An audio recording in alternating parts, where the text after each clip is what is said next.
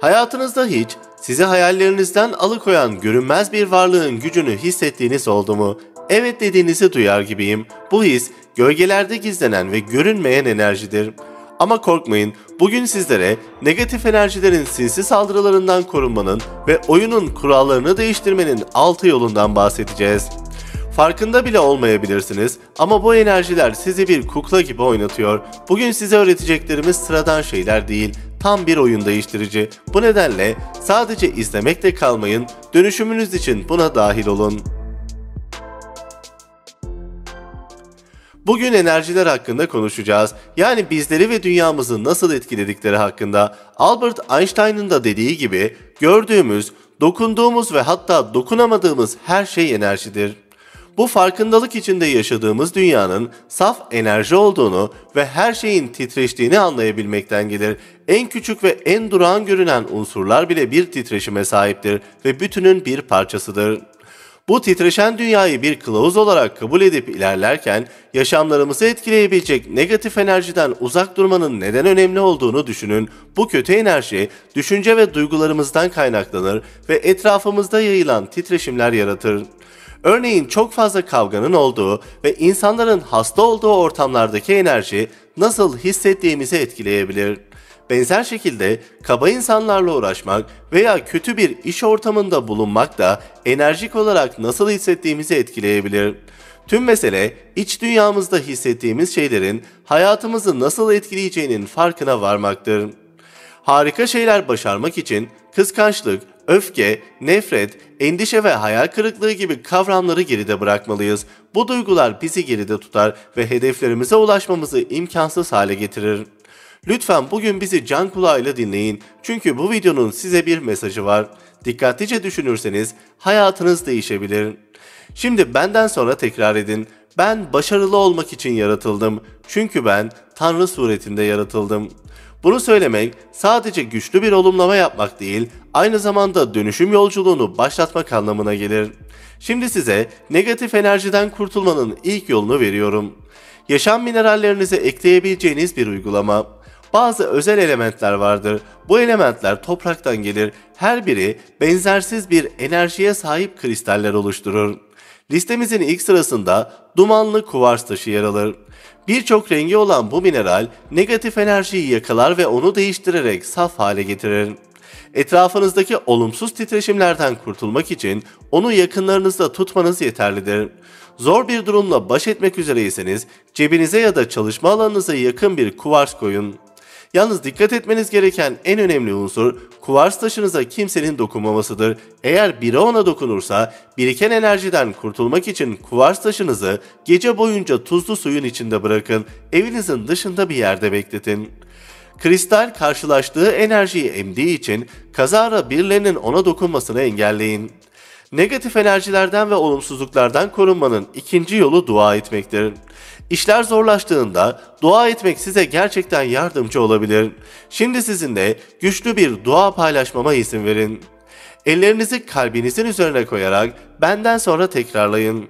Ben bilgelik dolu ilahi bir varlığım. Yaşam yolculuğum boyunca seyahat ediyor ve öğreniyorum. Bu yolculukta ilahi bilgelik daima benimledir. Çünkü ben onun suretinden yaratıldım. Önemli olduğum için kendimi seviyor ve saygı duyuyorum. Kadim öğretilerden alınan bu kutsal dua sizi daha yüksek bir enerji seviyesine bağlayacaktır. Olumsuzlukları hayatımızdan çıkarmanın üçüncü yolu kendimizde sohbet etmektir. Deepak Chopra gençken bu öğretiyi uyguladığını ve metafizik yoluyla bağlantı kurduğunu söylüyor. Kendinizle konuşmaya başlamalı ve olumsuz düşüncelerinizi olumlu tarafa doğru kaydırmalısınız.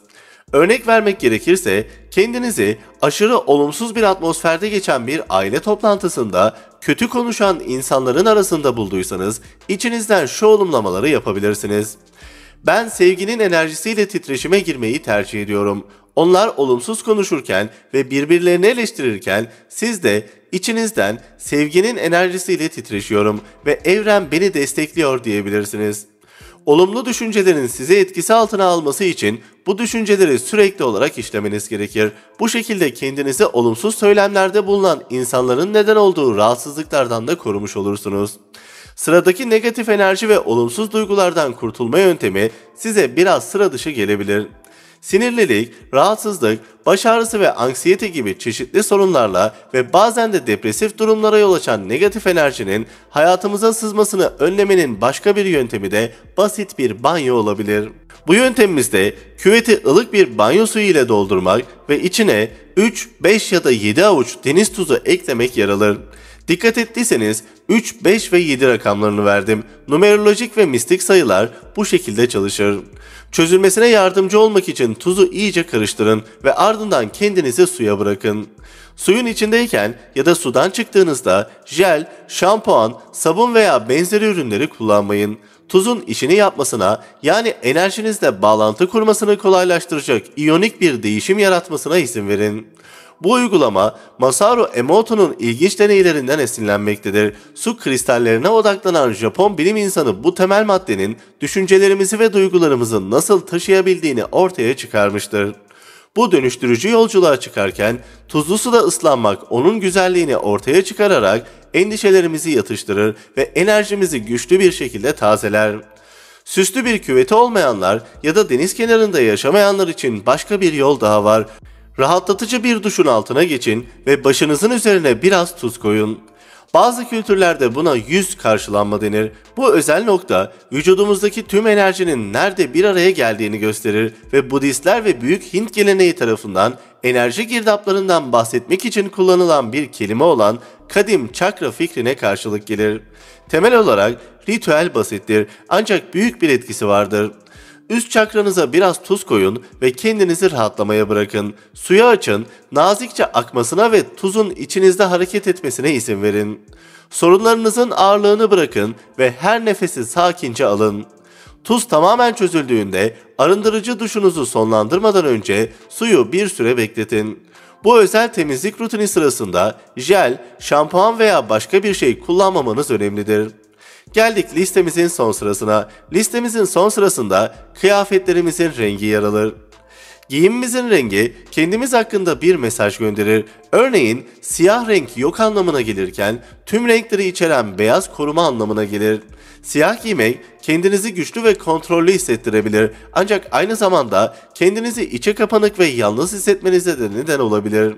Siyah her şeyi emer ve renkleri yansıtmaz. Bu da kendinizi çevrenizdekilerden izole edilmiş gibi hissetmenize neden olur. Kendinizi nasıl hissettiğinizi ve nasıl göründüğünü yansıtmak için kendinize özel renkler seçin. Örneğin kendinizi mutlu ve neşeli hissetmek istiyorsanız sarı veya turuncu gibi canlı renkler giyin. Kendinizi daha güvende ve kontrollü hissetmek istiyorsanız siyah veya lacivert gibi koyu renkler giyebilirsiniz. Sonuna kadar izlediğiniz için teşekkür ederiz. Videomuzu beğendiyseniz beğene basmayı ve sevdiklerinizle paylaşmayı, diğer videolarımızdan haberdar olmak ve kanalımıza destek olmak için abone olup bildirimlerinizi aktif hale getirmeyi unutmayınız. Aklınızın gücü sizinle olsun.